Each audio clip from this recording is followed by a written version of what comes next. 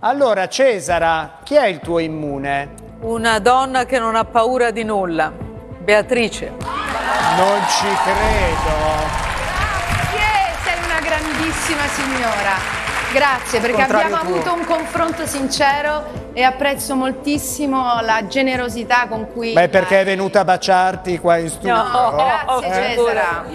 Grazie. Ma di, nie- ma di che? Ma di che? Vabbè. Alfonso vuole parlare Rosanna? Dimmi Rosanna. della signora Luzzi, Sì. quando è venuta a sedersi mi ha detto spostati, fatti più in là che non voglio sedermi vicino a te. No, vicino, a- attaccata. Mi hai detto queste parole. Ho detto, Non puoi voglio sedermi vicino a te. Perché non voglio Solo stare attaccata a lei. ho perché detto la che- verità. allora, che Allora, lei mandi il Luzzi, messaggio ha 20 anni più di Cara che Luzzi, lei mandi il messaggio che io non amo il Natale la perché Luzzi faccio farsi in confessionale ha fatto Rosanna? di tutto, ha usato le persone. Ho- ho io chiesto- non ho mai usato nessuno per Allora, farmi un nome. intanto io non Mi sto usando- non sei Io sto usando nessuno. La soltanto me stessa. canzone Vergognati. italiana, Ti te l'ha detto dove ha cantato.